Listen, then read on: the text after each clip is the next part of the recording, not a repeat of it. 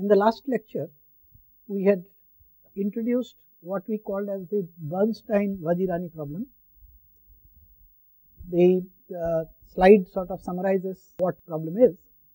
So, uh, basically what happened in Bernstein-Vazirani is that given an n qubit input string x, which is x0 to xn minus 1, we need to find an unknown n qubit string a, which is a0 to an1, so that if I take the sum of the bitwise product of these two, that is a0 x0 plus a1 x1 etc., and uh, do it modulo 2. So, this is a given single qubit output. So, given this single qubit output and the n qubit input string, we need to find an uh, unknown string which we called as the A. Uh, what Simon problem is, is a just straightforward extension of the Bernstein-Vazirani problem. In this case, the oracle will calculate a function f which is from n qubit input to an n qubit output and it has the following property that uh, for a pair of inputs x and y the function of the first input is equal to the function of the second input only if these two inputs are related by, for example, if one is x, the other one is y, these two inputs are related by y is equal to x plus that is uh, addition modulo 2 or XOR of xi which is uh, your the unknown string and we need to find out the this unknown string zeta. So, let us look at this from uh, an example that I have given here. So, you this is a 3 qubit example that we have listed here. You notice here that the inputs 8 inputs are given 0 0 0 0 0 1 right up to 1 1 1 and the corresponding fx's are given. Now, of course, this is a fairly straightforward thing. If you look at it that f of 0 0 0 happens to be 0 1 1, but f of 0 1 1 also is 0 1 1. So, therefore, the xi would be a string which is the bitwise XOR of this 0 0 0 with 0 1 1 because if this is x and this is y, the fx and fy are the same. And likewise, you can check that uh, these two pairs are the same, they have their same function and likewise here uh, 1 0 0 as well as 1 1 1 they have the same. Here of course, uh, it being 3 qubits and uh, there are only 8 entries, you can even manually check uh, what is the xi input string that we are talking about. The problem becomes a lot more complicated as I go along and increase the number of qubits. So, in this particular case we had seen that the xi was 0 1 1 that is fairly straightforward because you can see that uh, these two pairs that is 0 0 0 as well as 0 1 1 they have the same value of the function.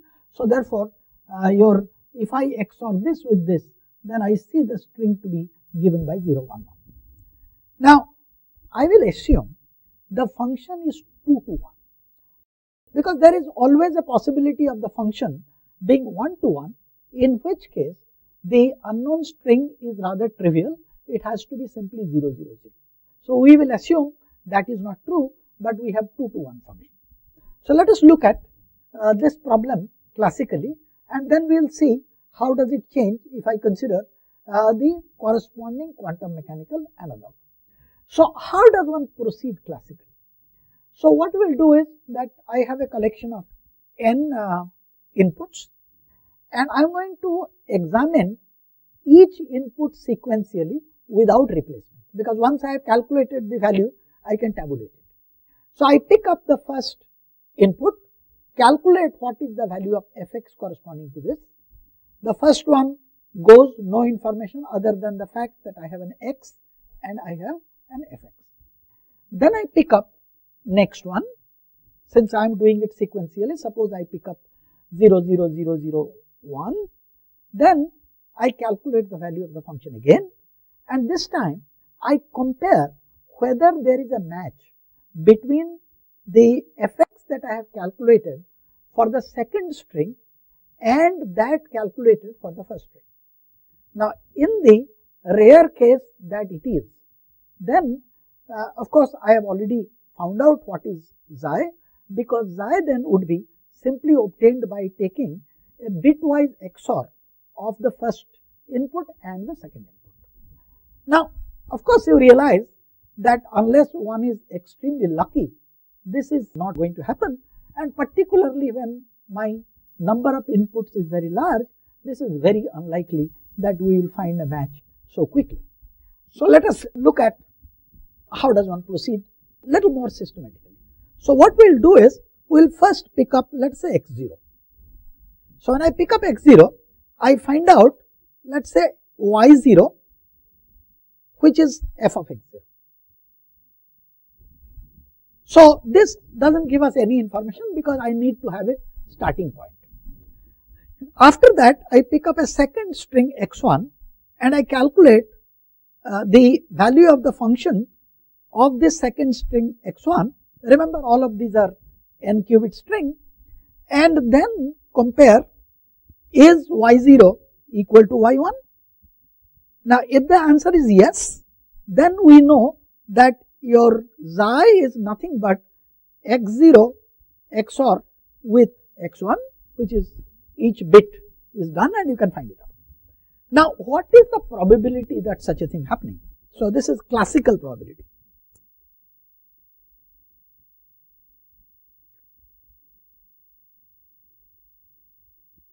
So, notice that in calculating the classical probability, then y1 in principle could have matched with any of the 2 to the power n minus 1. Remember that there are total in number of inputs is 2 to the power n and I have uh, picked up y1 and I am comparing with the rest. So, it could have matched its value y1's value could have matched with the function of any of the other 2 to the power n minus 1 input and as a result my classical probability is 1 over 2 to the power n minus 1. So, this uh, as n increases is obviously a small probability. Now, so let us uh, uh, suppose I have computed the value for let us say k strings. So, first k strings we have calculated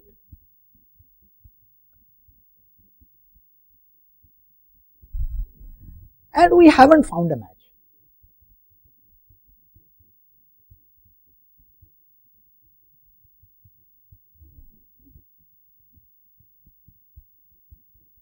Now, if I have picked up k strings and I calculated the fx value corresponding to each one of the strings, then in principle I have calculated kc k by uh, 2 number of strings, which is simply k into k minus 1 divided by factorial 2 which is 2 these many strings have been checked.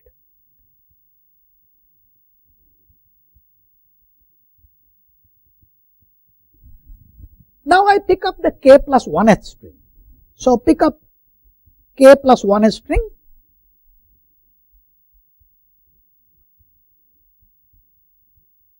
and uh, evaluate its fx the function and the question that I am asking is what is the probability that the function that is y k plus 1 if you like well k plus 1th string I am saying so since I started from 0 it is y k. So what is the probability that this y k matches with one of these numbers of strings that I have got. Now, the probability of that happening is this. See, remember that there were 2 to the power n minus 1, which is my number of strings that was there. So, the balance number of strings that I am left with is k, k minus 1 divided by 2. And of course, this probability has to be multiplied with k and that quantity this is a quantity which I will find out a limit for. And this limit I will do by simply reducing the value of the denominator. So, put it back. So, you will find that this will be 2k on the top divided by I have got When I multiply this with 2, I get 2 to the power n plus 1. So let me write that down. There is a minus 2, since minus 2 is, well, that there is a negative number. So therefore, by removing that and then I have, I'll come to this minus 2 thing. I've got a minus k square plus k by 2.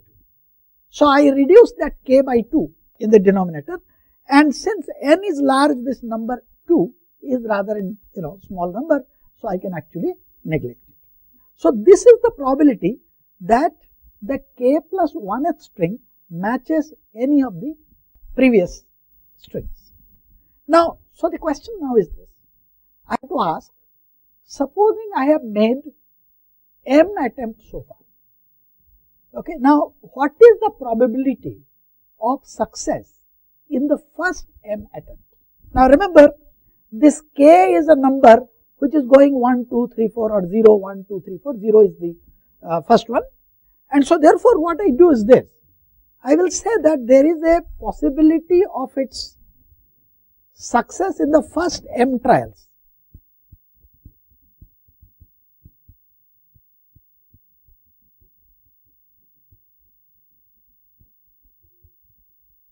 So I need to simply sum over. K is equal to 2 because I started from the second one to m. 2k actually this is probability is less than that. 2 to the power n plus 1 minus k square. So this quantity is less than or equal to now k is the number which is running from 2 to m. So supposing I replace k by m then it is decreasing the denominator and increasing the numerator.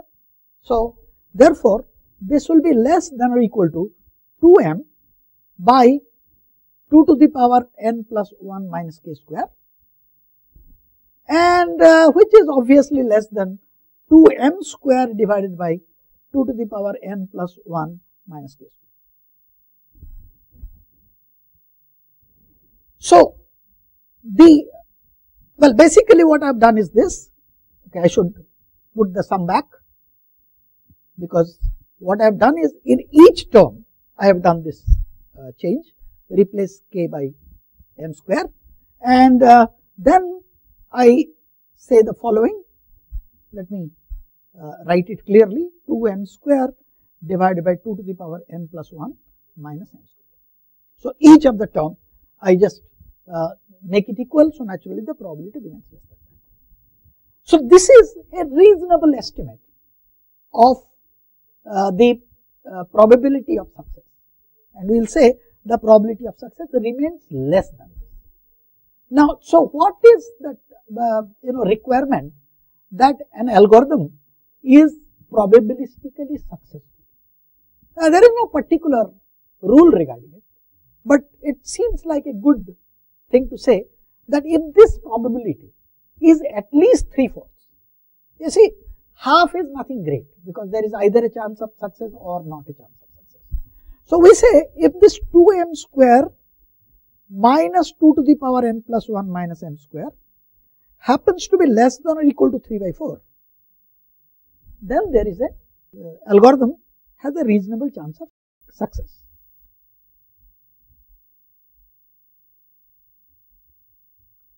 It's very trivial to work out uh, what this tells us of m because you have 8m square minus 3m square on the right hand side. So, you get m to be given by the number of attempts that you need is given by 6 by 11 into 2 to the power n. This remains this. Now, this you realize is an exponential complexity. The complexity is exponential.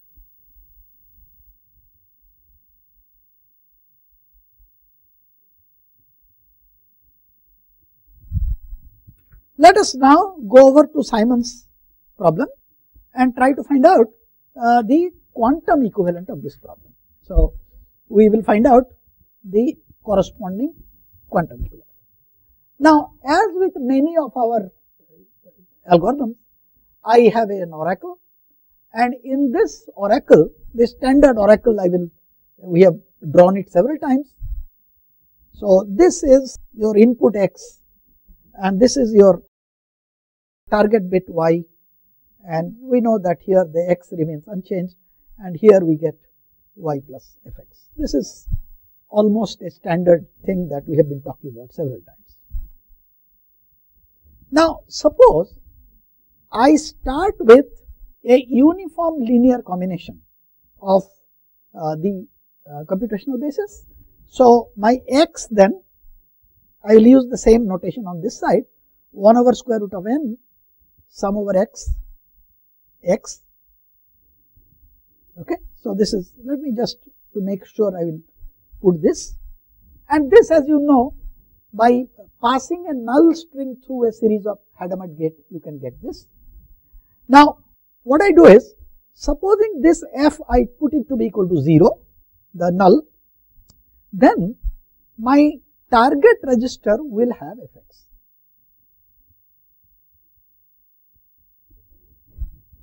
As I have already pointed out that if the function is 1 to 1 then my is uh, uh, xi is equal to 0 and if you measure the uh, second register you will get a particular value of fx with probability 1 over 2 to the power if the function happens to be 1 to 1 and then of course we know that the uh, string that I am looking for is just the null string. But suppose my function is 2 to 1 then my probability of obtaining a particular string if I measure the first register is simply 2 to the power n minus 1. So, I do this same thing that we have been doing for several times. So, my starting point is as I said 1 over square root of capital N is just a short form for 2 to the power small n, n is the number of qubits. So, I start with that. So, after the oracle I get 1 over square root of n sum over x which is the uniform basis and of course fx. Now at this stage if I measure the second register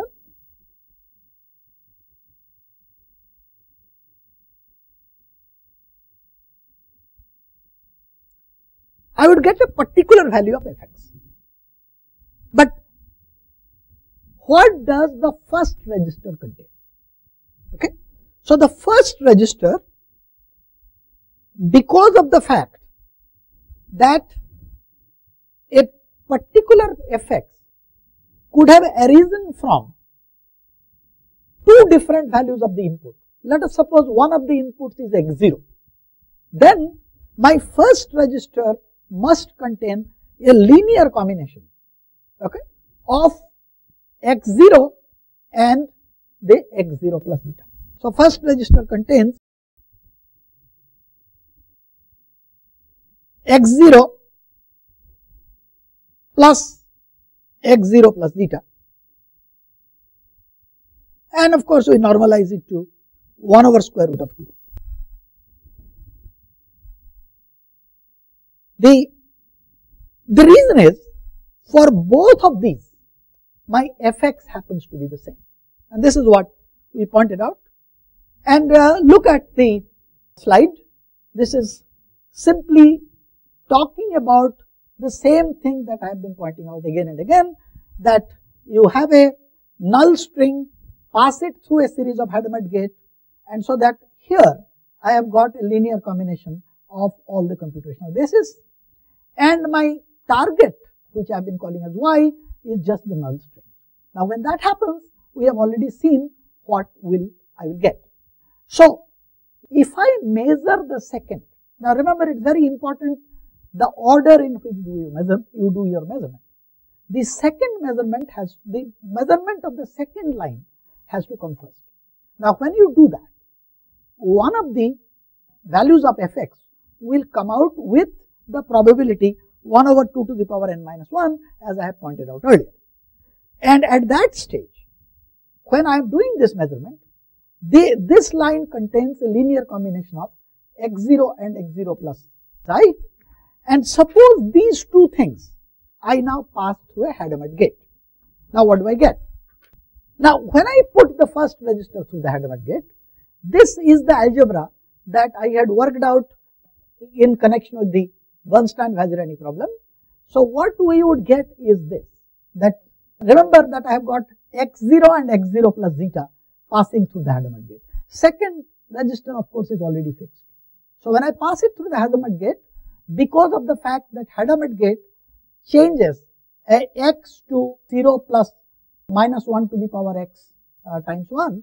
So I get, since one of my strings is x0, the another string is x0 plus zeta, this is what I would get by the same logic as I had given in Bernstein-Vazirani problem. Now if you extract the minus 1 to the power x0 dot y out, you get 1 plus minus 1 to the power xi dot y, y. Now notice the quantity in the square bracket which is there. So let me write it down. The quantity in the square bracket is 1 plus minus 1 to the power zeta dot y. Now this quantity in the bracket will be non-zero only if zeta dot y or xi dot y have been occasionally making mistakes. So, xi 0 y 0 plus xi n minus 1 y n minus 1 that is equal to 0. Remember these are bitwise things. So, therefore, I either get a 0 or I get a 1 and if it is 1 it is 1 minus 1 equal to 0. So, this is what I would get. So, what it means is the string xi and the string y they are perpendicular to each other. Now, suppose the n values uh, are linearly independent, then I can run the algorithm n number of times, small n number of times. Uh, this is very important because small n is simply the number of qubits, not capital N which was 2 to the power n values. And we can determine xi which is normal to it. So, let us look at this by means of an example. Well, I have again given an example with only 3 qubits, but you could if you are a little more adventurous you could work it out with more. So, look at this here. So, here I, what I am going to start with is this table I will come back to. So, I will start with first a linear combination uh, of all the computational basis state. So, normalization is 1 over square root of 8. I get 1 over square root of 8 sum x x and the second register has 0 0 0. I use an oracle content of the second register is given in the table as I, I will go back back and forth. Uh, suppose look at this table again suppose I got 1 1 1. Now notice if I got 1 1 1 you could take any value uh, which is appearing twice obviously then my first register must have 1 0 0 and 1 1 1. So, my first register's content is normalized to 1 over square root of 2, get 1 0 0 plus get 1 1 1. Now, at this stage, if I put the first register through Hadamard gate, now, if I put the first register through the Hadamard gate, what would I get? Remember, I had 1 0 0 and 1 0 0 plus xi. So therefore, my on passing it through the Hadamard gate I get minus 1 to the power 100 dot y into 1 plus minus 1 to the power xi dot y. This is what I wrote down in general. Now in this case, what I want is that this quantity here should be non-zero in order that my measurement yields something. So my non-zero coefficients of y are only those for which zeta dot y is equal to 0.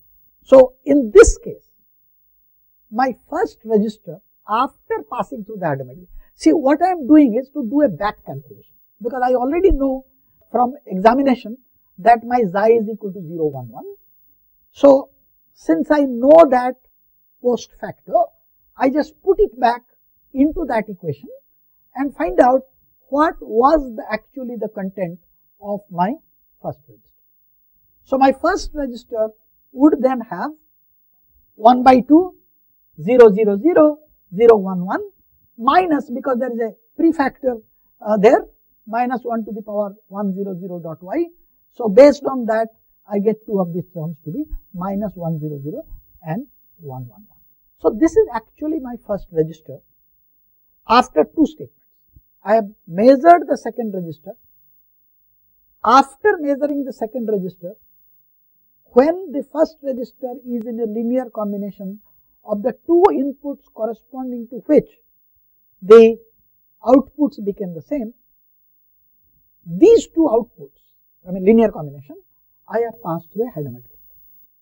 And since Hadamard gate acting on one bit gives me 2, 0 goes to 0 plus 1 by root 2 etc. So, my terms that I get there are 4 of them as we had indicated. So, look at the slide again. So, this is what I have got. Now, I now measure the first register. I would get one of these four things that I have indicated. One of these four things that I have indicated. Now, and on measuring the first register, each one of them will come with equal probability. Now, suppose, suppose our first measurement happens to be 1 0. The sign is unimportant.